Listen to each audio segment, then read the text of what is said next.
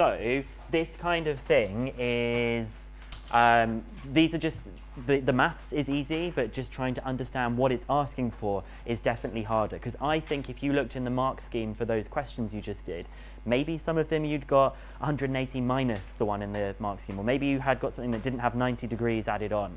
So just want to quickly do one more so that you've got this as a record when I send it to you. We want to find the angle that this vector makes with j. When you look at this vector that we have to begin with, maybe I should have said the first time, think about your starting point of the vector, and it's going to be going 3 across, and then it's going to be going 2 downwards, okay? This then is the vector that we are talking about right here. We want to find out what angle that this vector makes with j.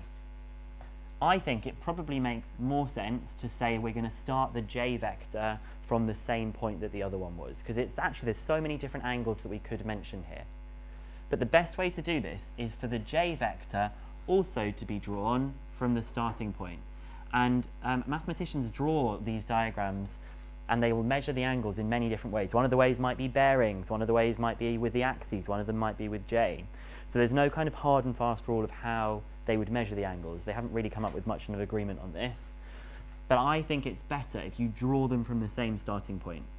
Now, if we're trying to talk about what angle that this one makes with j, it looks like there's going to be a right angle, and then there's going to be another angle that we've got here. Okay? So starting at the same point, I think will help you if you come across these questions again. To find theta, it would be the inverse tan of what? Of 2 over 3. And the inverse tan of 2 over 3 is 33.7 degrees. So our angle that it makes is 90 plus 33.7, which is 123.7 degrees. Now let's imagine that you didn't draw it from the same starting point. Let's imagine that you just drew this vector here with the starting bit and we had that it was going 3, 2. Some of you then um, may have seen that the j vector that you have, um, you may have measured like this angle that you've got here, but I don't think that that's necessarily describing it with, I don't think that's going to describe the same angle. So the better thing to do is to always have them starting from the, the same point with the vector. That should make measuring the angle a bit easier.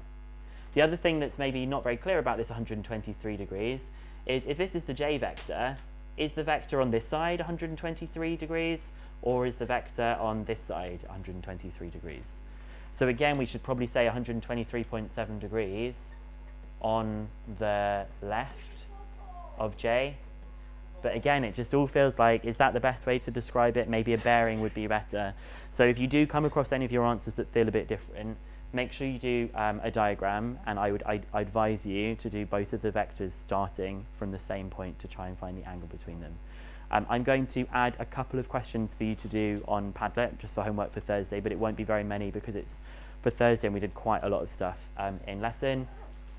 And I checked everyone's homework. So apart from one person, everyone got their homework done. So I feel like you're really sort of stepping up to getting things done. Yeah, and it was you, you to me. Okay, guys, um, check on